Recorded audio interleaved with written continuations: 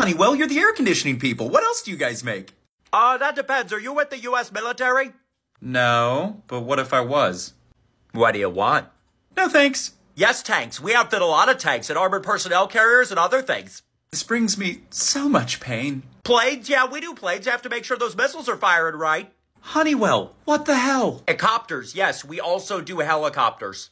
Why do you keep talking? It's like it's automatic. Grenade launchers. Yes, we made automatic grenade launchers. We also made this anti-submarine rocket system. Thing's pretty cool. Do you make anything not for the military? Uh, yeah, blowing agents. Spy agencies count, and that is a despicable way to get information out of people. What? It's for insulation. What the heck were you thinking about? Do you make anything that saves lives? Yeah, fire alarm systems. Oh, that's nice. Yeah, so if one of our missiles, including the nuclear missiles we made, strikes a building near you, our fire alarm system will be the first one to let you know we gotcha.